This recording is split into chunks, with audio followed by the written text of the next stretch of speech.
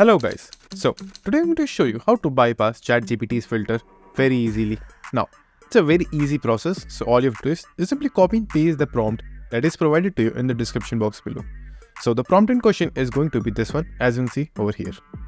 So don't worry if it is marked as red, it is only saying that it is violating the content of ChatGPT, but it's not a big deal. So as you can see, this is the exact script that you have to paste before writing anything. So all you have to do is open a new tab and paste the script right over here.